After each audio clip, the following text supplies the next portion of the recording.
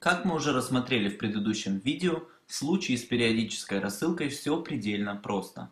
Вы создаете рассылку типа «Периодическая рассылка» и по мере необходимости отправляете ее подписчикам письма. Тем не менее, бывают ситуации, когда вы, как автор рассылки, хотите, чтобы подписчик после подписки на рассылку начал сразу же получать заранее заготовленные вами письма. То есть вы хотите, чтобы рассылка отправлялась автоматически, без вашего участия. В таких случаях необходимо использовать рассылку типа «Автоматическая последовательная серия писем». Давайте создадим подобную рассылку и посмотрим, как правильно добавлять в нее письма. Переходим к разделу «Рассылки» и выбираем подраздел «Создать новую рассылку». В предыдущем видео мы уже рассмотрели, как правильно заполнять данную форму, поэтому я сейчас просто выберу тип рассылки «Автоматическая последовательная серия писем», быстро заполню все остальные поля, и мы рассмотрим, как правильно добавлять письма в серию.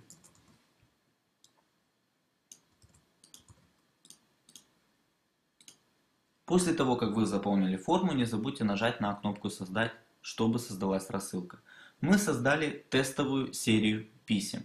Сейчас нам необходимо перейти в настройки данной рассылки, чтобы у нас была возможность добавить в эту серию письмо. Для того, чтобы перейти в настройки рассылки, необходимо просто нажать на название самой рассылки.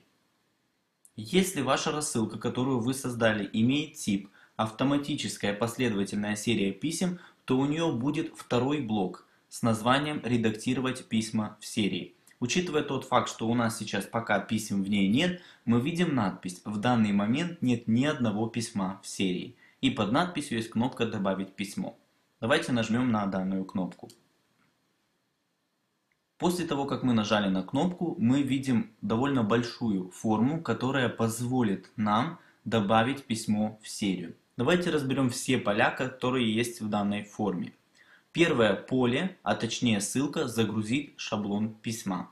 Данная ссылка понадобится вам лишь в случае, если до этого вы уже создали какой-то шаблон письма, на основании которого хотите сейчас создавать письмо для серии. Если вы нажмете на данную ссылку, то появится еще одна строка, в которой будет выпадающий список. Именно из этого списка при необходимости вы можете выбрать заранее заготовленный шаблон. Сейчас мы этого делать не будем, поэтому не обращаем внимания на данную ссылку. Следующее поле смещения. Это очень важное поле. Что такое смещение и для чего его необходимо использовать? Смещение позволяет вам указать, когда письмо будет получено подписчиком. Если стоит смещение 0, это означает, что подписчик получит данное письмо сразу же после подписки на рассылку. Если же смещение будет равно единице, это будет говорить о том, что подписчик получит письмо на следующий день после подписки на рассылку. Если двойки, то подписчик получит письмо через два дня после подписки на рассылку и так далее. Максимальное смещение, как вы можете увидеть при наведении на подсказку, 9999. В реальной жизни вы, конечно же, такие смещения ставить не будете. Далее есть опция «Отправить письмо в» и возможность указать точное время. Как вы понимаете, эта опция может вам понадобиться, если вы хотите, чтобы подписчик после подписки не сразу же получал письмо, а получал его в определенное время, указанное вами в данной опции. Если такая необходимость есть, просто отмечайте чекбокс и указывайте нужное вам время.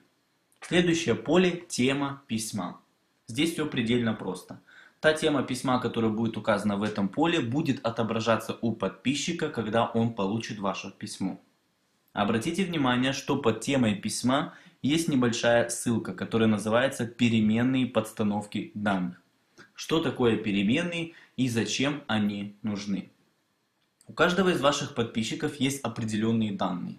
Имя, фамилия, отчество, дата рождения, город проживания, страна проживания, пол и так далее. Иногда бывают ситуации, что вам необходимо использовать эти данные подписчиков в своих письмах, либо в содержании, либо в теме. К примеру, вы хотите в теме письма обратиться к подписчику по имени. Это можно сделать именно с помощью переменных. Давайте для примера именно рассмотрим данный вариант. Нажимаем на ссылку переменной подстановки данных. После этого сразу же появляется новое окно. И в данном окне вы можете видеть все переменные нашего сервиса. Нам в этом случае необходимо найти блок переменные данных подписчика и именно переменную имени, имя подписчика. Копируем данную переменную, закрываем окно и вставляем в тему данную переменную. Далее пишем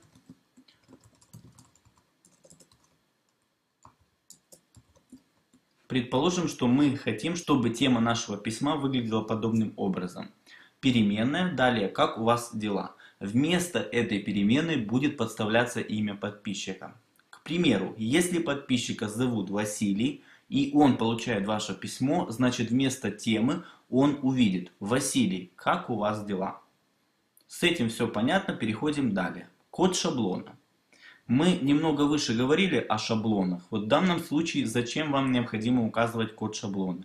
Если вы сейчас укажете код шаблона, впоследствии у вас будет возможность использовать данное письмо для того, чтобы на его основании создавать какие-то новые письма. Или просто, чтобы это письмо сразу отправить по нужной вам части ваших подписчиков.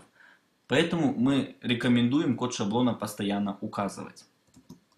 Пусть это будет тест 1. Чуть-чуть далее мы просмотрим, как это нам поможет. Далее есть вариант выбора приоритета письма. Зачем это нужно? Есть три приоритета, низкий, средний и высокий. Если вы выберете высокий приоритет, то ваше письмо, которое получит подписчик, будет помечено как важное.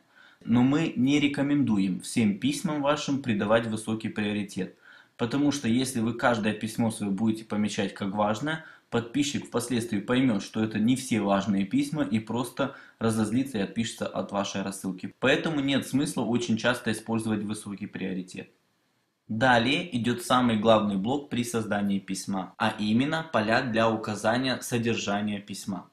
Как вы видите, есть две вкладки HTML версия письма и текстовая версия письма. Если вы хотите, чтобы ваши подписчики получали красочные письма, в которых будут изображения, гиперссылки, подчеркивания, различные цвета и так далее, то вы используете HTML-версию письма. Если вы хотите отправить просто текстовое письмо, которое будет без форматирования, без гиперссылок, без изображений и так далее, вы используете текстовую версию письма. В данном случае мы просто тестируем, то есть создаем тестовое письмо, поэтому я вместо содержания укажу лишь ту же тему. Под полями для ввода содержания письма мы видим две ссылки. Первая ссылка – предпросмотр письма, вторая ссылка – переменной подстановки данных. Если вы помните, именно такая же ссылка была под темой письма. Единственное различие между этими ссылками заключается в том, что в тему письма нельзя вставлять абсолютно все переменные сервиса. То есть там есть некоторые ограничения по переменным. Что же касается этой ссылки, то здесь отображаются абсолютно все переменные, которые доступны на нашем сервисе. И они все могут быть вставлены в содержание вашего письма. Ссылка предпросмотр письма служит для того, чтобы у вас была возможность увидеть, как будет отображаться ваше письмо. И нам остался небольшой блок. В первую очередь в данном блоке идет кнопка «Проверить на спам». Данную кнопку вам необходимо использовать в случае, если вы хотите проверить, насколько высока вероятность того, что ваше письмо попадет в спам, когда вы его будете отправлять. Давайте нажмем на данную кнопку и посмотрим, что произойдет. Сейчас наш сервис оценивает, насколько велика вероятность попадания письма в спам. 1,1 из 10. И вывод написано «Низкая вероятность попадания вашего письма в папку спам». Это в принципе означает, что с письмом нет никаких проблем, можно смело его отправлять. Далее идет блок, с помощью которого вы можете вложить в письмо файлы.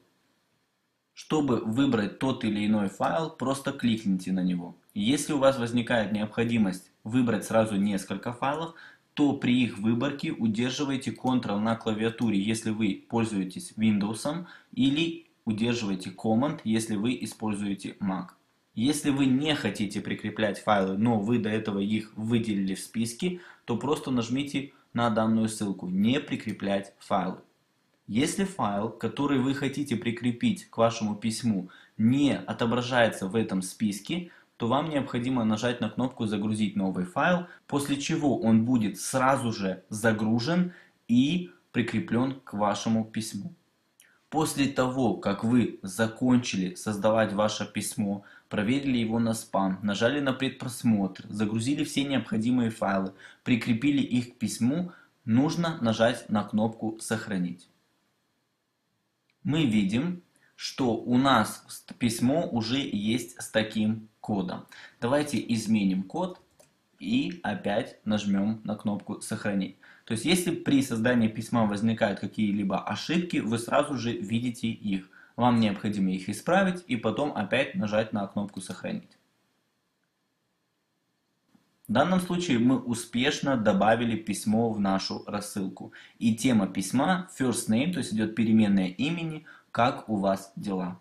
Давайте добавим еще одно письмо, уже с другим смещением и с другой темой. В данном случае мы можем создавать письмо на основании того письма, которое мы только что создали.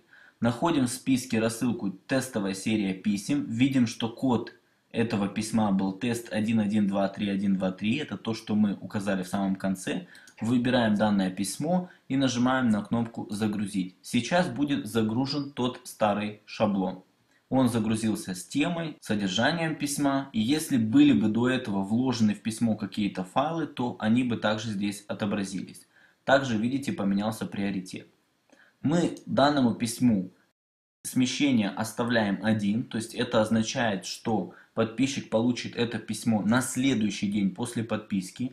Если вы помните первое письмо, он получает сразу же при подписке на рассылку. Далее, тема письма мы говорили, что хотим ее изменить. Давайте изменим. Новый курс пусть называется. Если вы хотите переменную, конечно же, в этом случае можно убрать. Содержание можем не менять, так как это в любом случае тестовое письмо, никто его получать не будет, пусть оно останется таким. Код шаблона, если есть необходимость, опять указывайте. И если нету, оставляйте данное поле пустым. Давайте еще к этому письму прикрепим какой-то файл и нажмем на кнопку «Сохранить». Предположим, что изначально в эту серию мы хотели добавить именно эти два письма. То есть наша серия писем уже готова. Если это все письма, которые должны отправляться вашим подписчикам автоматически, то вы можете переходить к созданию формы подписки, чтобы предоставить вашим пользователям возможность подписываться на эту рассылку. Также у каждой рассылки, которую вы создаете, есть настройки. Все настройки расположены в третьем, последнем блоке, и этот блок состоит из шести вкладок. Вкладка «Основные» дублирует практически все поля, которые вы заполняли при создании рассылки. Здесь есть также дополнительные поля, но в данном случае они нам не нужны, так как это более сложные вещи, о которых в принципе сейчас говорить нет смысла. Далее идет вкладка «Дополнительные». Здесь тоже дополнительные настройки, вкладка «Отписки», веб-версия, социальные кнопки и RSS to email.